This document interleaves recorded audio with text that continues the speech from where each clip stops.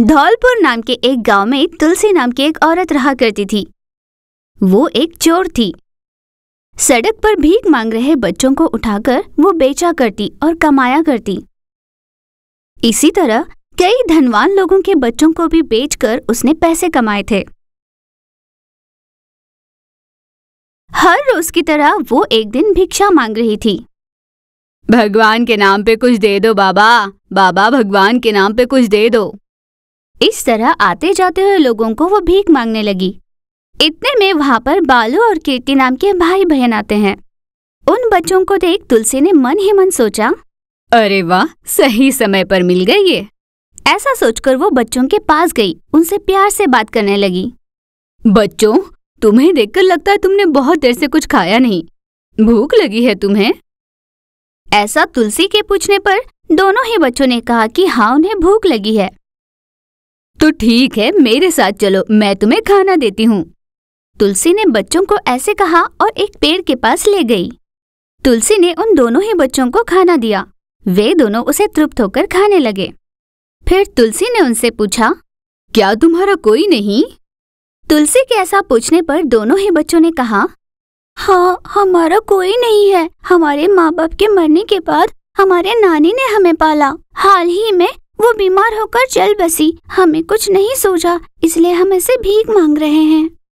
उन दोनों बच्चों की बात सुनकर तुलसी ने कहा, कोई बात नहीं, तुम लोग मेरे साथ चलो, मैं तुम्हारा अच्छे से ध्यान रखूँगी। तुलसी के ऐसा कहने पर दोनों बच्चे खुश होकर उसके साथ चल देते हैं। तुलसी दोनों ही बच्चों को लेकर अपने घर चली गई और उनका ध्यान रखने लगी। वो रात बीत जाती है। अगली सुबह तुलसी किसी से फ़ोन पर बात कर रही थी। मैंने कहा, ना, मेरे घर आइए। मेरे पास दो बच्चे हैं, लेकिन हर बार आप मुझे कम पैसे देते हो और आप लाखों में कमाती है। देख लीजिए, इस बार अगर मुझे कम पैसे मिले तो मैं बच्चे नहीं बेचूँगी। ऐसा कहकर तुलसी ने फ़ोन काट दिया। बच्चे खरीदने वाली के साथ तुलसी की बहस हो जाती है। उन दोनों में इस बात को लेकर तू तू मैं होती है। राधा जी, मैंने कहा ना, मैं कम पैसों में बच्चे नहीं बेचूँगी। मुझे न बेचकर अगर तुमने किसी और को बच्चे बेचे तो मैं पुलिस को इत्तला कर दूँगी। राधा की ऐसे बातें सुन तुलसी को गुस्सा आया। अब तक तो मैंने ये नहीं सोचा था, पर तुमने अच्छा सुझाव दिया। बच्चों को किडनैप करने पर मुझे भी समान पैसे मिलने चाहिए, वरना तुम्हारी सच्चाई भी बता दूँगी। ऐसे तुलसी ने कहा। इसके बाद उन दोनों में बहसबाजी चलने लगी। राधा, बड़े गुस्से में, मैं तुम्हें देख लूँगी, ऐसा कहकर वहाँ से चली जाती है। कुछ दिन ऐसे ही बीते। कीर्ति और बालू तुलसी के साथ रहते रहते उनका उससे लगाव होने लगा। तुलसी भी बच्चों का अच्छे से ध्यान रखने लगी। तभी राधा वहाँ पर आई और उन दोनों ही बच्चों को ज़बरदस्ती ले जाने की कोशिश करने लगी। जब तक मेरी जान में जान है, मैं इन दोनों बच्चों को कुछ नहीं होने दूँगी। अब तक तो मैंने बहुत पाप किए। इन दोनों को बचाकर मैं उनका प्रायश्चित करूँगी। ऐसा कहकर तुलसी ने उन्हें रोका। राधा को बहुत गुस्सा आया। तुम ज़िंदा बचोगी तब ना तुम्हें जीते जी मारकर इन बच्चों को मैं लेकर जाऊँगी। तुम देखती रहना। ऐसा कहकर राधा ने तुलसी के सर पर ज़ोर से डंडा मारा। वो मौके पर ही चल बसी। बच्चे उसके पास बैठकर रोए जा रहे थे। माँ माँ! यूँ चिल्लाते हुए रो रहे थे। ये तुमने क्या किया? हमारी माँ को मार डाला। ये बात हम पुलिस को बताकर तुम्हें जेल में डलवाएँगे। ऐसा कहकर कीर्ति वहाँ से दौड़ने लगी। तुरंत राधा ने उसका रास्ता रोका। कहाँ दौड़ी जा रही हो? अगर तुमने ये बात किसी को बताई तो मैं तुम्हारे भाई को मार डालूँगी। राधा के ऐसा कहने पर भी जब कीर्ति नहीं मानी तो उसने बालू को उठाया और आग के पास ले गई। अब बताओ, सच को छुपा कर रखोगी या मार डालू तुम्हारे भाई को? ऐसा कहकर उसके भाई को मारने की कोशिश करती है। कीर्ति चिल्लाकर उसे रुकने के लिए कहती है। ठीक है, हम किसी को नहीं बताएँगे कि आपने उनकी हत्या की। कीर्ति के ऐसा कहने पर राधा ज़ोर से हँसी और उन दोनों बच्चों को बांधकर वहाँ से ले गई। वहाँ क्या हुआ था यह किसी को पता नहीं चला। उन दोनों बच्चों को ले जाकर राधा ने उनसे घर के काम करवाए और हर समय उनकी पिटाई करती थी। कुछ दिनों बाद सोए हुए दोनों बच्चों में से कीर्ति को उसने किसी को बेच दिया। अगली सुबह बालू अपने दीदी के लिए ढूंढता रहा। पर कीर्ति का कहीं पता न चलने पर वो रोने लगा। राधा आंटी, मेरी दीदी कहाँ है?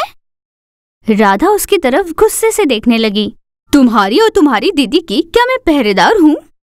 ऐसा कहकर उसने बालू की पिटाई की। कुछ समय बाद वहाँ पर एक आदमी आया और उसने बालू को देखा। मुझे ये लड़का चाहिए। उस आदमी के ऐसा पूछने पर राधा ने कहा पच्चीस लाख दो और ले जाओ। उस आदमी ने वो रकम दी और बालू को लिए वहाँ से चल दिया। बेचारे दोनों भाई बहन इस तरह पिछड़ जाते हैं। वो कभी साथ में ना मिल पाए ऐसे दूर हो जाते हैं। वो एक दूसरे को याद करते हुए वहाँ पर मुश्किल काम करने लगते हैं। भगवान जी, मुझे मेरी दीदी से मिला दो। मुझे मेरे भाई से मिला दो। वो दोनों यूँ रोते हुए भगवान से प्रार्थना करते हैं। अगर ये कहानी आपको अच्छी लगी तो इसे लाइक और कमेंट करना, और ऐसी इंटरेस्टिंग स्टोरीज के लिए इस चैनल को अभी सब्सक्राइब करना। Thank you for watching Kirti और बालू अपने माता पिता के एक्सीडेंट के बाद उनके दादाजी सूर्यकांत और दादी पुष्पा जी के साथ रहा करते थे। उनके चाचा जी शहर से कभी कभी उन्हें मिलने आते और उनके लिए कुछ खिलौने और चॉकलेट्स लाया करते।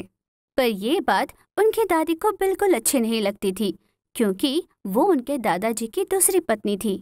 पहली पत्नी से जन्मे रमेश के दो संतान थे कीर्ति और बालू और दूसरी पत्नी से पवन जन्मा था, इसीलिए ये भेद था। फिर आया वो दिन जब रमेश और उनके पत्नी की बरसी थी।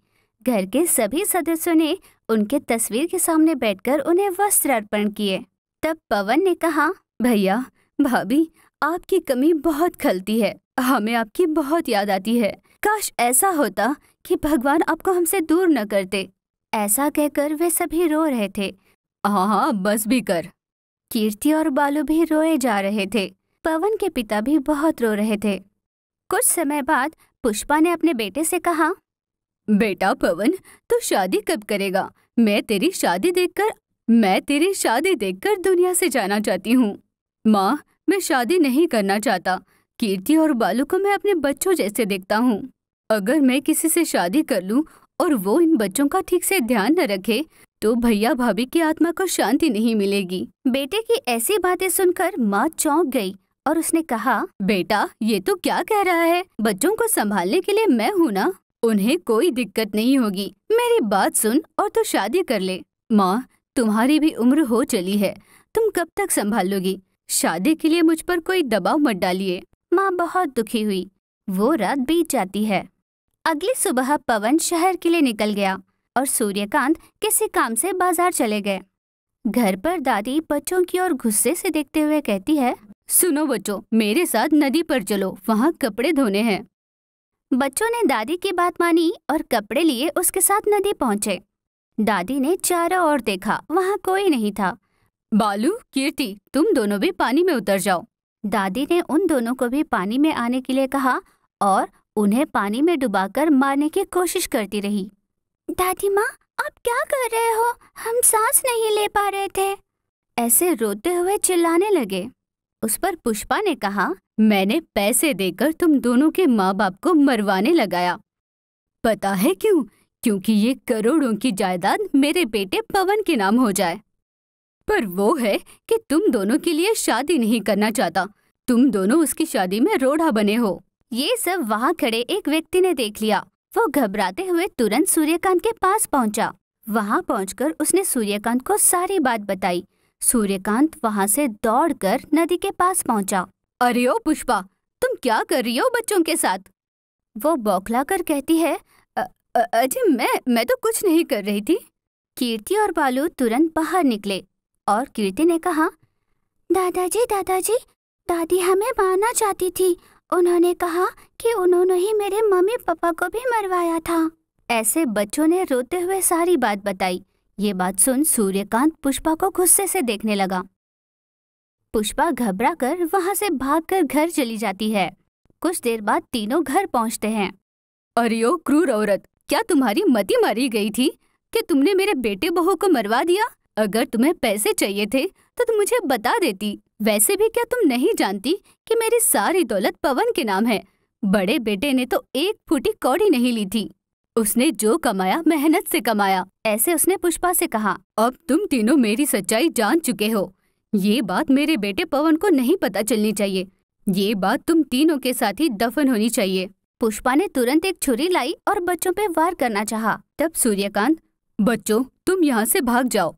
बच्चे वहाँ से भाग निकले। सूर्यकांत भी उनके साथ भाग निकला। वे तीनों आगे तो उनके पीछे पीछे पुष्पा दौड़ रही थी। सूर्यकांत ने तुरंत उन दोनों बच्चों को एक गाड़ी में बिठा दिया। इससे पहले कि सूर्यकांत गाड़ी में चढ़ते, गाड़ी निकल चुकी, जिससे वो नीचे गिर गए। दूसरी ओर, पुष्पा के पीछे से एक गाड़ी आकर उसे टकरा गई। पुष्पा की मौके पर ही मौत हो गई। उसे देख सूर्यकांत ने कहा, तेरे पाप का घड़ा भर गया था, इसलिए भगवान ने तुझे बुला लिया। हे भगवान, मेरे पोता पोती को सुरक्षित रखना। ऐसे उसने भगवान से प्रार्थना की। वो रात किसी तरह बीत गई। अगले दिन पवन घर पहुँचा। उसके पिता ने उसको सारी बात बता दी। ये सुनकर मैंने कभी नहीं सोचा था कि माँ ऐसा करेगी। पापा, कीर्ति और बालू का कहीं पता चला? उस पर पापा ने कहा, कहीं पता नहीं चला बेटा। उस दिन से वे दोनों बच्चों को ढूँढने के काम में लग गए। कुछ दिन गुजर गए। वे दोनों ही बच्चे उस गाड़ी में एक नई जगह पहुँचे। जगह नहीं, भाषा नहीं वो दोनों कुछ समझ नहीं पा रहे थे। वे दोनों अनाथों की तरह हाथों से इशारा कर लोगों से भीख मांगने लगे। वे दोनों वहाँ पर उन्हें जो भी मिलता, उसमें मिल बांट कर अपना पेट भरकर अपना गुजारा कर रहे थे। उनके दादाजी और चाचा हर जगह उन्हें ढूँढने की कोशिश कर रहे थे। हम भी भगवान से प्रार्थना करते हैं कि कभी न कभी ये दोनों बच्चे अपने घर वालों से मिल जाए।